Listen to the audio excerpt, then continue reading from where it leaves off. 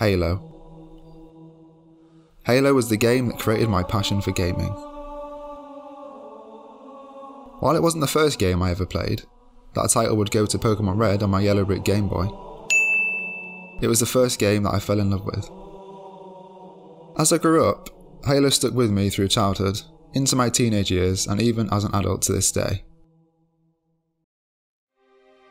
Every time I replay Halo, the opening theme, the over the top action, and this one line still gives me chills. But at the age of 11, I had no idea why Halo was so good. I was just happy breezing through the campaign with my friends and facing off against the imaginative Covenant enemies. In hindsight, the reason I loved Halo was probably the sense of scale, the inventive sci fi setting, the revolutionary first person shooter mechanics, and the fact it was unlike anything I'd seen before. So, as a huge Halo fan, I was extremely excited when Disintegration was announced, a brand new IP from Halo's co creator Marcus Lehto. And like Halo, Disintegration is unlike anything we've seen before. With hybrid first person shooter and real time strategy gameplay, and developed by a brand new studio with a mix of 30 graduate and veteran developers, Disintegration could truly be something special. Well, Disintegration is special.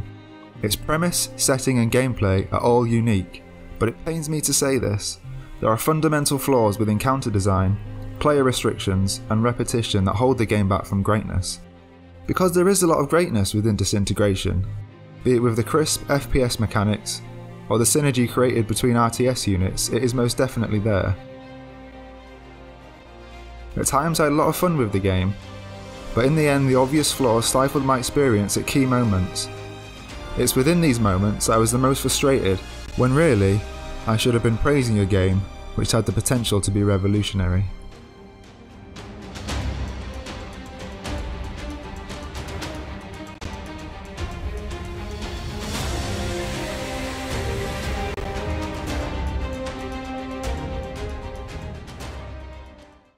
Disintegration's greatest strength is its premise. Humanity is on the brink of collapse and people have transplanted their brains into robotic shells through a process known as integration. There's an evil faction, called the Rayonne who harvest humans, or naturals as they're called here. It's never explained why everybody is integrated, or what the motives are behind each side, but for whatever reason, I was interested in Disintegration's world from the very start. I wanted to learn more and find answers to my already burning questions. Why did people integrate? Why does Rayonne want to enslave humanity? What was the aftermath of this catastrophic event? But unfortunately, these questions are never answered. Sometimes, snippets of information are revealed when you visit a new location, like the first time I scanned a Rayonne outpost and saw a human harvesting machine, or when my crew discussed the haunting origins of a derelict city we were battling through. Uh, all those poor people who thought they were getting out. Ports were the first places the Rayonne knocked down. That's pretty dark, right? Except this moment is ruined by cringeworthy dialogue from one of my crew. Ladies and gentlemen, welcome to Rayonne Air with non-stop flights from the frying pan to the fire. what? Key information like this is gradually revealed without ever giving too much away. I did find this slightly frustrating at times, but others may like the air of mystery V1 Interactive have created. I felt most in the dark when starting Disintegration for the first time. Oddly, like Infinity War, we start in the middle of a scene, except here we've not had 20 prior films to explain what's happening. True freedom. In service of a higher calling. Join the Rayonne. An ex Gravcycle rider and lead protagonist Roma is being interrogated by the head of the Rayonne, Black Shuck. Black Shuck. I honestly found it hard to take Black Shuck seriously, as his name sounds like a campy supervillain from a 70s comic book. You escape from Black Shuck and quickly team up with a ragtag crew of outlaws who also want to take Shuck down, and his huge spaceship along with him. The sense of scale imposed by this thing was jaw dropping. It swallows up the sky and does an excellent job of making you feel overwhelmed by your mission. Within the crew are a colourful cast of characters, each with unique personalities and visual appearance. Doyle is an ex police officer and now occupies a large robotic frame. Make some space for the big guns. 609 grew up in the hood where rival gangs shouted out your door number, hence the name. Better late than never. and Coki, a lovable joker who dances after victory in battle. They all reminded me of the Spartans from Halo Reach, who all share similar appearances and personality traits. Doyle especially reminded me of George.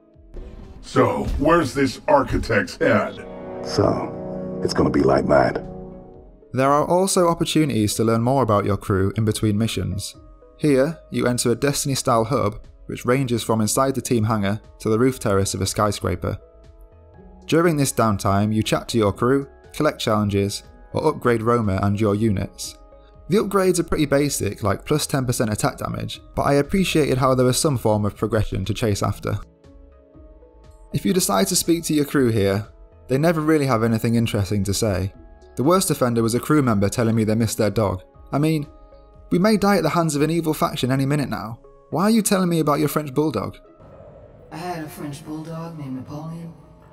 That was always by my side, or under my feet. I guess V1 is trying to remind us that these robotic people are actually human, but there are better ways to do this.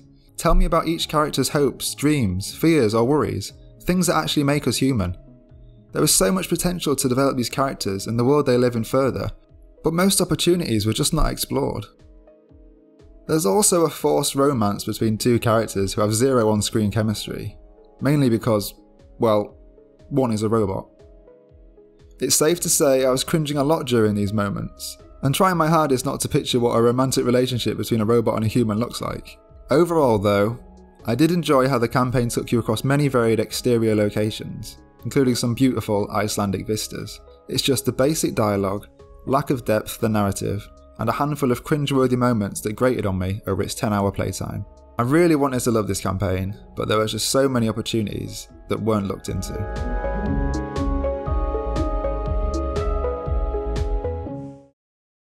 So, the campaign never reveals more depth than the original premise, or by the tiny breadcrumbs left by each character.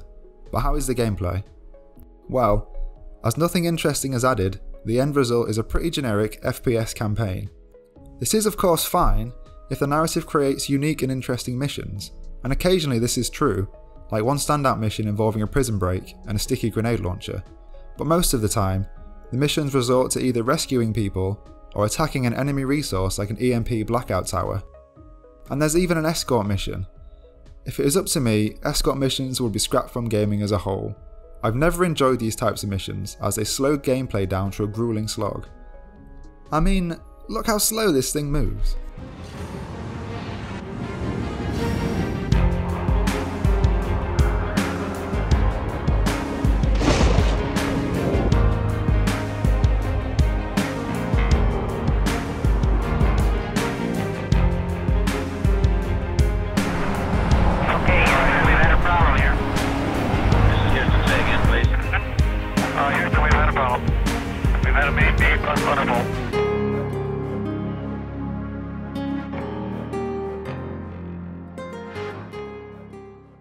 In defense of V1, they have added variety by creating unique grav cycles, different units, varied weapons, and several enemy types. I really clicked with a handful of these weapons, like the dual miniguns, homing rockets, and my favourite, the nanotrite healing gun, which has one of the best sounds ever put to code associated with it.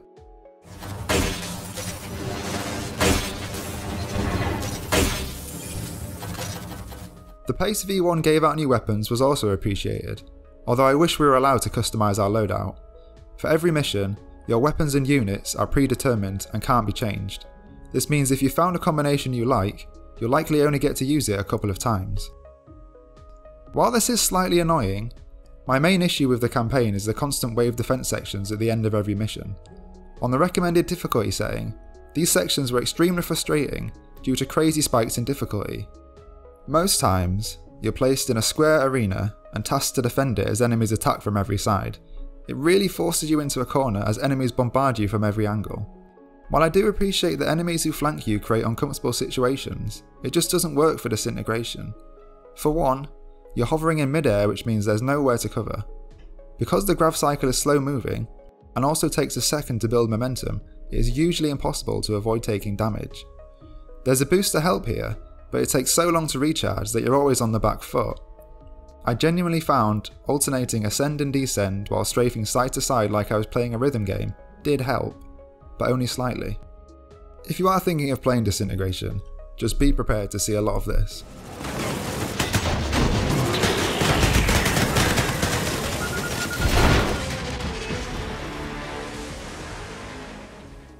It's important to note that this problem only exists during the final wave defense sections, simply due to the sheer number of enemies the game throws at you. Plus, since you're locked into a loadout, there's a high chance you won't have the right tools for the job. This happened to me on a few missions where I was left with no healing ability. My only option was for either my units to heal me, this didn't work as they were getting battered too, or to cower in a corner and wait for the painfully long auto heal to kick in. This didn't work either as the AI will literally hunt you down. I dreaded the end of a level as these sections were repetitive and frustratingly difficult. Sure, you're expected to sit back and command units from afar, but when enemies spawn behind you, what are you supposed to do? It's such a shame that these moments ruined it for me, as the enemy design is amazing. There's a great mix of weak and stronger enemies, all with interesting mechanics. I personally enjoyed the Thunderbird bosses, who were like mini War of the World walkers or Mass Effect Reapers.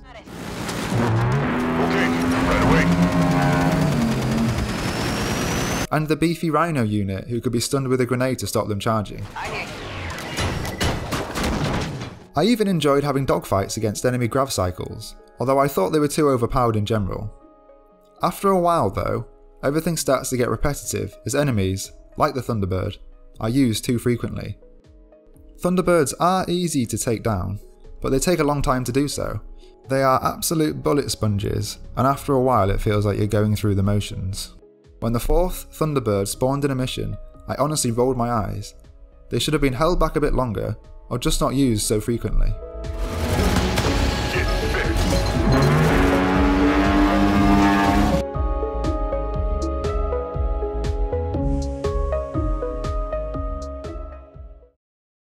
In the early hours of disintegration, I thought the FPS mechanics were pointless, as V1 gives you the worst weapon in the game, the dual assault rifles. They are seriously underpowered and barely scratch your enemies, and because you haven't had a chance to upgrade your health, you die after a few hits. Early on, if you play disintegration like an FPS, which many FPS fans probably will, you will get obliterated.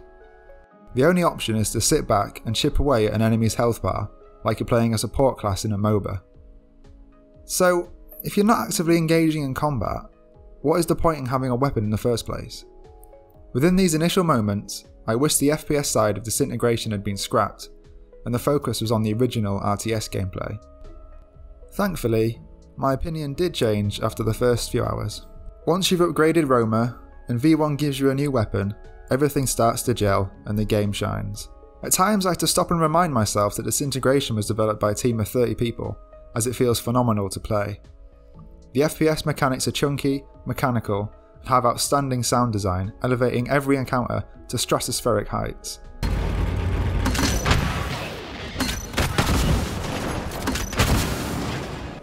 Correct. You are approaching a small pocket of iron cloud debris. Going for the kill! Focusing. It feels as good as other AAA FPS games like Halo, Rage 2 or Doom, or even Des. Okay, not quite as good as Destiny, but it does feel good. I also appreciated how hovering in midair added something new to the genre. Usually in FPS games, you're on the ground and strafe from side to side to make yourself hard to hit. But in Disintegration, and as you're always hovering, you have to dodge vertically too. It was an interesting take using all 360 degrees to take down your enemies. Of course, though, when you're in midair, your main role is to scan the battlefield and order units to attack. I always found this perspective thought provoking, as I carefully planned out the best way to assault a Rayonne base. But every single time, my plan never came to fruition. As you're constantly hovering, you're spotted from a mile off, immediately alerting the enemy you're about to attack. Any strategy is also simplified due to the lack of options for your units.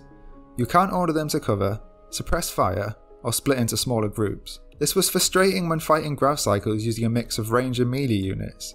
As my melee unit couldn't attack the grav cycle, he was left to aimlessly roam around the battlefield. There are other times when your units don't engage with the enemy and stand there completely surrounded.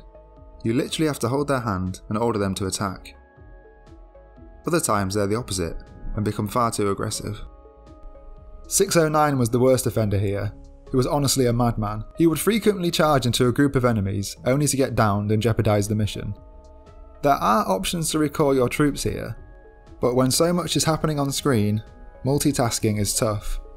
In busy encounters, I always felt at a disadvantage as the enemy AI is surprisingly intelligent, yet you're given a band of idiots. Again, you're never given the right tools to get the job done. But if you accept Disintegration as a simple RTS game, then it's a lot of fun.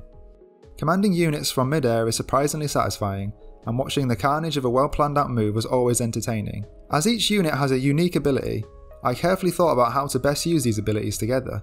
For example, by activating a bubble which slows time, I fired a volley of rockets into a group of helpless enemies. And as all the environments are destructible, it creates many blockbuster action moments as walls of buildings are blown off. I also loved how the cover an enemy was hiding behind crumbled before their eyes. But even though there are moments of greatness with Disintegration's FPS RTS hybrid, it always felt as if one side was Dr. Jekyll and the other Mr. Hyde, and I was watching them try to kill each other. If we look at the RTS side, it is already at a disadvantage due to the limited number of buttons on a gamepad. Combine this with half of the buttons already used to reload your weapon, swap weapon, or zoom, and V1 are left with even less retail to play with. In order to facilitate the FPS gameplay, the RTS side has suffered. On top of this, you're never too powerful so you're forced to rely on your units. And here, in order to facilitate the RTS gameplay, the FPS side has suffered.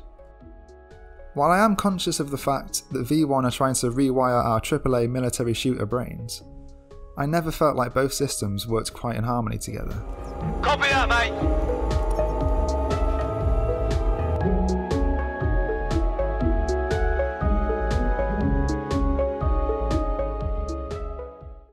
I wish I could give you an honest review of Disintegration's PvP, but I couldn't find a match when I logged in 7 days after launch. I queued up in quick play for 15 minutes, then each playlist for 5. The next day I tried again, and the day after that as well. Across all three days, a notification appeared on screen telling me that the servers were live and healthy. So, this means that a week after launch, there were less than 10 people looking for a multiplayer match in Disintegration on the Xbox One. This is not good, as I hate seeing unique ideas fail due to a lack of player interest. As I began scrolling through the PvP menus, I was even more gutted that I didn't get chance to play, as the 9 crews to choose from are extremely creative in design. There's the King's Guard, piloted by a knight in full armour, wielding a longsword, Neon Dreams, a cyberpunk biker gang, and my favourite, the Lost Ronin, a robot wearing samurai armour. And each crew has a unique grav cycle, units, and abilities that all fit their theme. For example, the King's Guard has a medieval style javelin launcher. All of the nine crews are interesting in design, and because of this, encourage you to use them. Compare this to other class based PvP games, like Bleeding Edge, where only half of the heroes are actually interesting. It's obvious V1 were passionate about every crew, and I bet they had a lot of fun designing them too. There are loads of rewarding systems built around the PvP too, like challenges, skins, banners, and Halo style badges. I did notice one glaring issue with PvP the inclusion of microtransactions. Personally, I think this was the wrong decision for Disintegration. It's a brand new IP from a relatively tiny studio, so why potentially ruin its chances by trying to monetize its multiplayer? I would have done the exact opposite and made the multiplayer extremely rewarding, like in Halo Reach, and have everything unlocked in game. If we feel like we're being heavily rewarded after every match, then perhaps we would stick around for a bit longer, or even recommend the game to our friends. Because some of the customization is really cool, like this skin for the Lost Ronin. Some skins are just recolours, but there are definitely a few items I wanted to chase after. Of course, you can earn credits in game, but if this is similar to other microtransaction based PvP games, I imagine the rates you earn credits is pretty low. To avoid settling on the first conclusion, it is possible that the servers for Disintegration are region based. If no one was playing near me, then naturally games would be difficult to find. Alternatively, there were problems with the servers, but seeing as they were listed as healthy, this seems unlikely. I even checked how many people had actually completed an online game by looking at the achievements for Xbox. I was shocked to discover that only 18% of people had actually completed an online game within the first week. 18%! There's also a high chance that the majority of these people were reviewing the game before launch. Just note, if you buy Disintegration for the Xbox One, you will currently be unable to play half of it.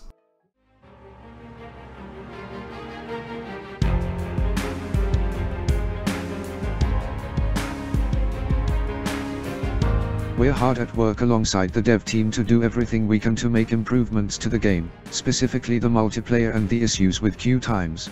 We are all actively working on some solutions to get you into matches quicker. Rest assured this is our top priority and everyone at Private Division and V1 Interactive are working hard to make sure you can all enjoy the game and have a good experience in matchmaking.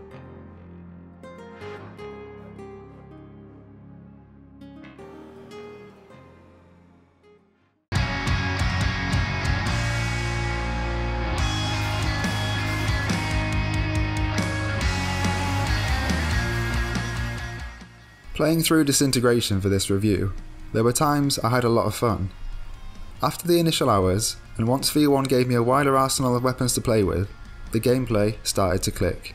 It's clear that the people at V1 are extremely talented developers, simply due to the way it feels to play Disintegration and the overall polish of the game. I experienced no bugs throughout my entire playthrough. But when reaching the end of a level and facing off against waves upon waves of enemies, this feeling quickly vanished.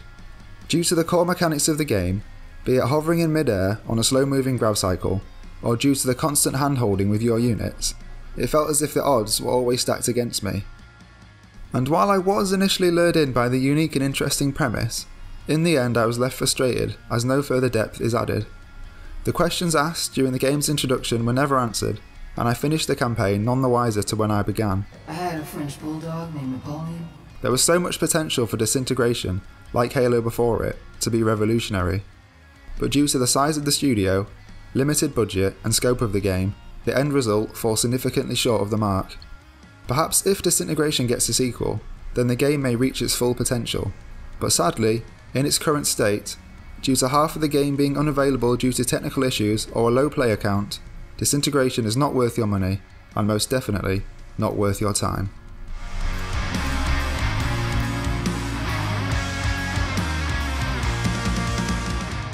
Thank you for watching my disintegration review, and actually my first ever video review. I've been reviewing games for the past year and a half in written form over on my blog twinsticks.co.uk. Shameless plug there. Um, but I've only recently started this YouTube channel. If you enjoyed this review, please give me a like, share the video, and subscribe to my channel to help me get off the ground. And of course, let me know if you agree or disagree with my thoughts on disintegration in the comments below. It's always good to hear both sides of an argument, and I'm sure there are people out there who love the game. Okay, see you on the next review.